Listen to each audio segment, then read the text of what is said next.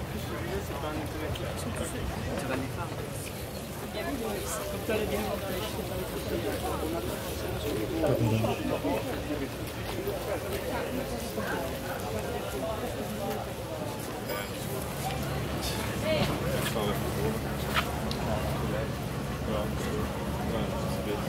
Thank you.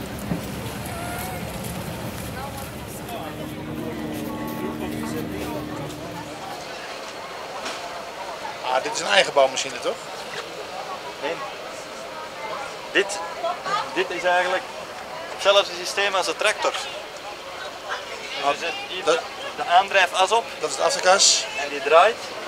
Dus en hetgeen wat u erop zet, ofwel de vernevelaar ofwel de, de meststrooier.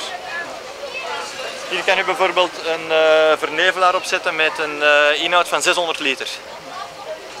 Dit is een, basis, een basisframe. Ja, dat is een basisframe waar dat u de grotere modellen van die twee kleine kan, kan op hanteren. Dus daar heb je bijvoorbeeld een sproeier, dat is voor achteraan op die kwad te zetten. Dan hebt u een breedte van 3 meter, maar op die kan u bijvoorbeeld een breedte van 16 meter opzetten.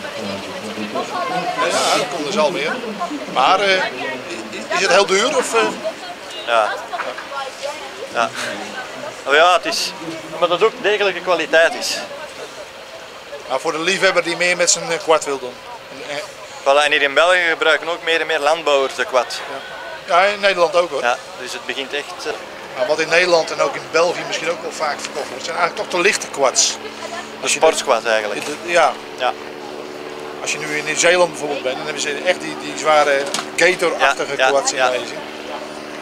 Wat, wat, wat ook die, die Yamaha, nou ja, zoals, zoals dat, die moet je dan eigenlijk hebben. Ja.